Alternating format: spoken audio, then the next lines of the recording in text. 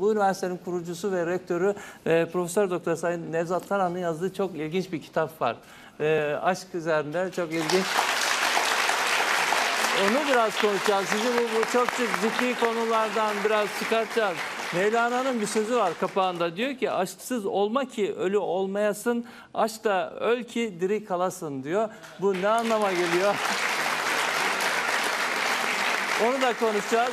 Gerçekten e, çok hukuk konuştuk. Biraz hukuktan aşka geçelim diyorum. E, hukuk çünkü konuşulmaya devam ediyor. Ankara'da aylardır konuşuluyor. Yasalar çıkıyor ve Türkiye'de hukukta maalesef e, e, hukuk devleti kavramı güçleneceğine daha da zayıflıyor. Bu sadece e, siyasilerin yapacağı bir iş değil. Sadece hukukçuların yapacağı bir iş değil. Hepimize çok çok önemli görevler düşüyor.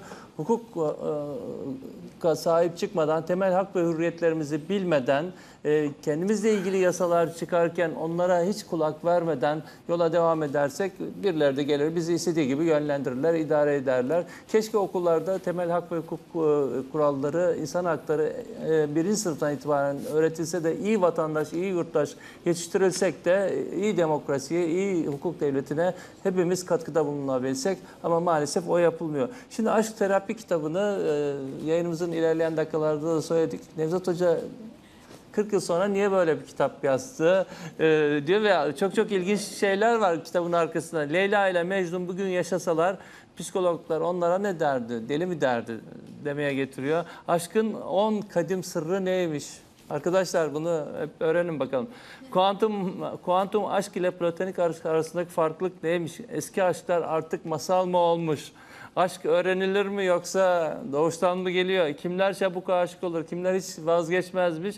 Aşk neler besler, neler büyütürmüş? Evlilikte aşkı devam ettirmenin yolları neymiş? Çabuk biter miymiş, bitmez miymiş? Bütün bunları Nevzat Hoca hiç üşenmeden yazmış.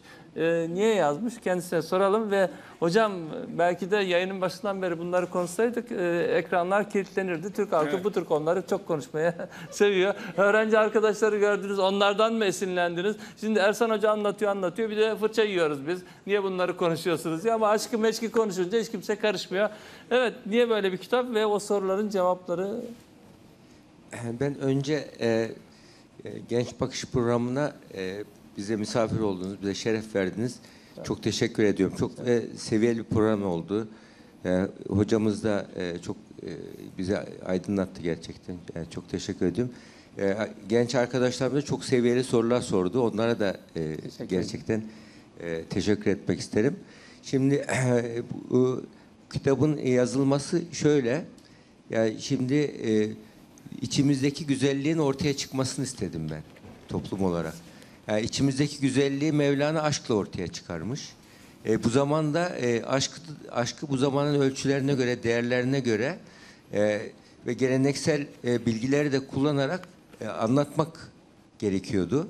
E, bu, e, bu bu konudaki yani biz e, Üsküdar Üniversitesi olarak da davranış bilimleri konusunda özelleşmiş bir üniversiteyiz. Bu konuda e, günle, e, yıllardır gelen sorular var ve çok e, ilginç vakalar var. E, bu aşk hastalığı için gelen kimseleri e, tedavi edilemeyecek kimseleri tedavi edebildi, edebildiğimizi görüyoruz. O halde bunu e, anlatmak gerekiyor. Yani aşk aşka hatta in- şey İngilizce'de aşka düşmek diye geçer. Fall in love diye geçer. Yani bu aşkı bir e, çukur gibi görüyor, fe- felaket gibi gören bir anlayış var. Aşk öyle değil ama. tam Yani- tersi diyorsunuz. Yani Cennet aşk, diyorsunuz. Aşk insanı güzelleştiriyor, uçuruyor ama bir pergel gibi olacak. Bir ayağın yerde olacak. Bir ayağın e, havada olabilir, uçabilirsin. E, bu e, e, aşk duygusunu insan e, e, e, devam ettirebiliyor. Şimdi genel Şimdi genelde şöyle başlangıcına söyleniyor. geçelim hocam. Burada bir ara bölüm var. Aşk rehbere ihtiyaç duyar diyorsunuz. Aşık olan kişi tıpkı hastanın doktora ihtiyaç duyduğu gibi rehber gerekir diyorsunuz. Evet. E, O rehberi nereden bulacağız? İşte o, bu zaten kitabın amacı o rehber olmak. Yani kimselere Yani bu kitabı.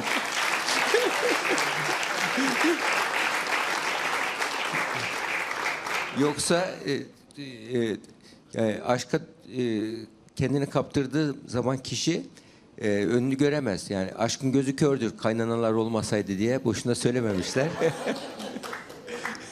ya, ge- gerçekten e, e, aşkı bilmiyoruz biz ya. Yani aşk denildiği zaman Hadi yargıyı bilmiyorduk da şimdi aşkı da bilmiyoruz. Yani Aşkı- Hasan Hoca'nın lafına gelecek. Bizde bir anormallik mi var diyordu deminden beri. Yani aşkı eğer bilebilirse insan hayattan renk geliyor, heyecan geliyor. İçtiği bir çaydan bile zevk alabiliyorsunuz. Yani bir e, pencereden manzarayı seyrettiğiniz zaman zevk alabiliyorsunuz. En şiddetli tartışma programını seyrederken bile zevk alabiliyorsunuz. Ama bu böyle e, ustaca bir zevk. E, iki- karşı tarafı da düşünerek de, de alabildiğimiz zevk. Yani bir insan e, sinek avlıyorsa bile aşkla yapabilmeyi başarması önemli. Bunu bunu yapabiliyorsa yine Mevlana'nın çok güzel bir örneği var. Bir gün e, kapısındaki diyor, bunu buradan götürün diyor. Uzaklaştırın diyor. E, talebeleri diyor bu biz bunu e, yetiştirdik, eğittik. Nereye bıraksak gel bize buluyor. Biz bunu göndermek istemiyoruz. Sebebini nedir diyor. Israrla bu eşeği uzan uzaklaştırın diyor. Sonra neden de ısrar edince e, haftalardır hiç sesi çıkmıyor diyor bu eşeğin. Aşkını, şevkini kaybetmiş bu eşek. Size de bulaşır diyor. evet. Yani insan hakikaten bir aşksız, şevsizlik insanın hayatı ota döndürüyor. Ve bu kitapta mesela vurgulamaya çalıştığım bir şey var. İnsanın temel ihtiyaçları var. Yemek, içmek, e, üremek gibi. Bu temel ihtiyaçlar gibi aşkta beyinde ihtiyacı olan bir e, temel Mekanizma. ihtiyaç. Yani o yoksa insan e, e, mekanikleşiyor, hayat hiç anlamı olmuyor. Ama bu, bu ihtiyacı doğru kullanabilmek, yani yemeği nasıl doğru kullanabiliyorsak, içmeyi doğru şekilde yapmamız gerekiyorsa, aşkı da doğru şekilde yaparsak hayatımız anlam katıyor, renk katıyor. E, hayvan katmanından insan katmanına çıkabiliyoruz. Ama bir söyleşi de e, e, eşiniz e, başınız tekrar sağ olsun. Üç yıl önce öldükten sonra ona olan aşkınızın gün yüzüne çıkarttınız. Ona itiraf etmediniz. Ondan sonra itiraf ettiniz. Yani aşkı herhalde zamanında da yaşamak lazım. Çok doğru. Orada internette birisi şöyle söylemiş. Bir psikiyatrist böyle diyorsa biz ne yapacağız demiş. Yani o, orası öyle fakat aşkın bir özelliği var. Aşk sevdiği nesneye kavuştuğu zaman gizleniyor. Gözükmüyor. E, uzaklaştığı zaman fark ediliyor. Kişi fark ediyor. Yani aşk e, e, sevdiği nesneye kavuştuğu zaman gizlenmesi bitti gibi zannediliyor. Aslında o aşkın şekil değişmesi, gizlenmesi kişi e, onun zevkini almayı, mangaldaki kül gibi zaman zaman canlandırmayı, alevlendirmeyi bilirse o aşk devam ediyor aslında. E, Daha sonra kaybettiği zaman onun değerini anlayabiliyor insan.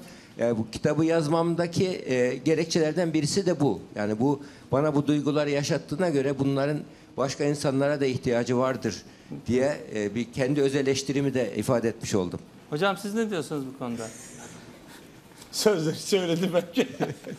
Uzmanına bırakalım diyorsunuz. Aşk güzeldir diyorum hocanın söylediği gibi. Evet.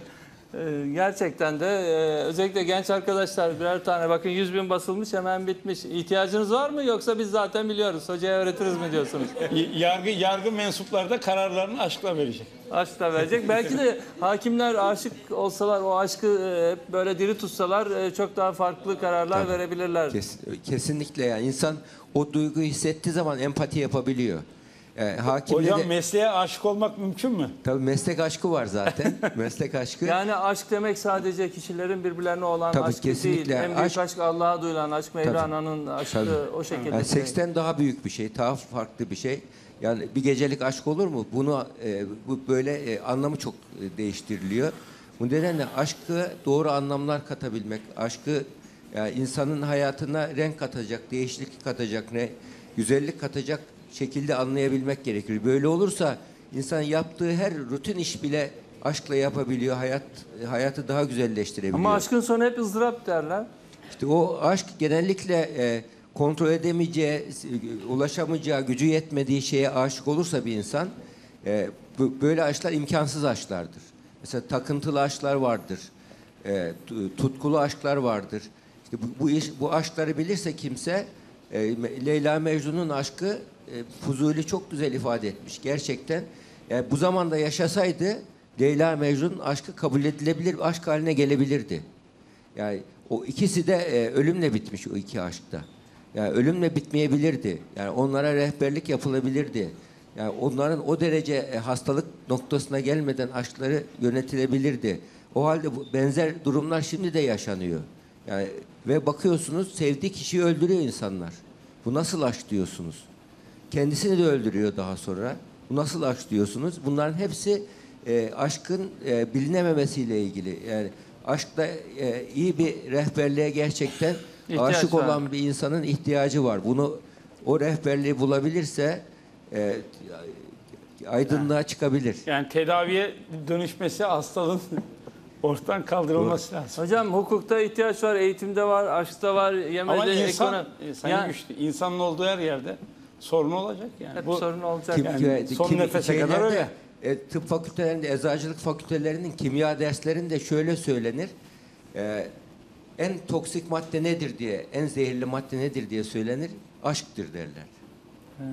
Yani şimdi nasıl oluyor aşk? Yani aşk bir kimseye... Hem en güzel hem de en zehirlisi. Tabii çok çok etkileyici, çok sarsıcı ama e, yerinde kullanılırsa da hayat veriyor. Yanlış kullanılırsa da zehirliyor. İlaç gibidir aşk bu nedenle. Yani aşkı bir ilaç olarak görelim. Yerinde ve e, dozunda kullanmayı başarırsak e, dertlerimize de, e, derman olabilir. Hem hem de e, birçok hayatımıza güzel şeyler renk katabilir. katabilir diyorsunuz. Evet sevgili izleyenler aşk meşk üzerine bir başlarsak e, değil geceler, e, aylar, yıllar yetmez gerçekten de ama Nevzat Hoca'nın kitabı bu konuya bir farklı renk katacaktır, farklı bir bakış açısı getirecektir.